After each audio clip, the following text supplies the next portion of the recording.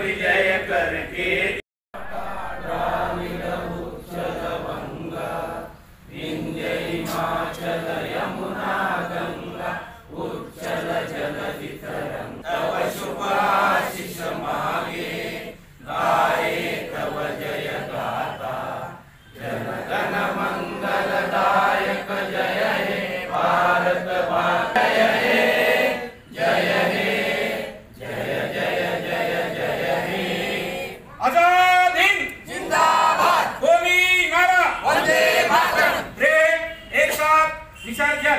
आज प्रजासत्ताक दिन निमित्त मी सगळ्यांना मनापासून शुभेच्छा देते.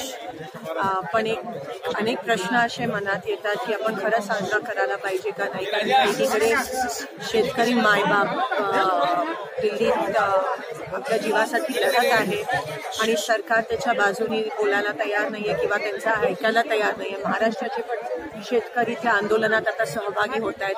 तो आपला अन्नदाता आहे आणि त्याचाच आणि आपल्या देशाचा तो कणा आहे आपल्या देशाचा जो कणा आहे त्याचंच ऐकत नसतील सरकार. तर खरंच प्रजासत्ताक आहे का नाही हे आपला देश एक रिपब्लिक आहे का नाही मला मनात विचार पडतो. दुसरीकडे महिलांवर होणारे अत्याचार वाढत अस- आहेत.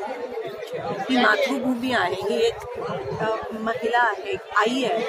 आणि जेव्हा एका कोणत्याही महिलेवर कोणत्याही प्रकारचा अत्याचार होतो तेव्हा हिच्यावर पण कुठेतरी अत्याचार होत असतो. आणि ते प्रसंग वाढत चाललेत. म्हणून आज आपण सगळेजण मिळून वचन घेऊया की न ऐकणारं हुकुमशाही जर सरकार असेल तर त्यांच्या विरोधात आपल्याला लढून पुन्हा एकदा लोकशाही काय आहे हे त्यांना दाखवून द्यायला पाहिजे आणि लोकशाही जिवंत ठेवण्यासाठी काँग्रेस पक्ष हा नेहमीच प्रयत्नशील शेवटच्या श्वासापर्यंत राहील.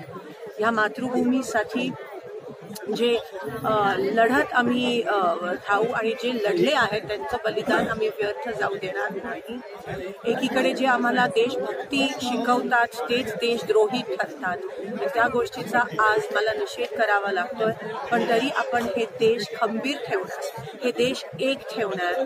सर्वधर्म समभावची भावना सगळ्यांच्या मनात आणि हिंदुस्थानी आणि भारतीय असण्याची भावना सगळ्यांच्या मनात शेवटपर्यंत मरेपर्यंत टिकून राहण्यास आम्ही सज्ज आहोत आणि आम्ही ह्या मातृभूमीसाठी लढत राहू. एवढंच या ठिकाणी सांगते. आणि आपल्या सगळ्यांना पुन्हा एकदा मनापासून शुभेच्छा देऊन आपण सगळे वचन घेऊया. एवढं सांगते.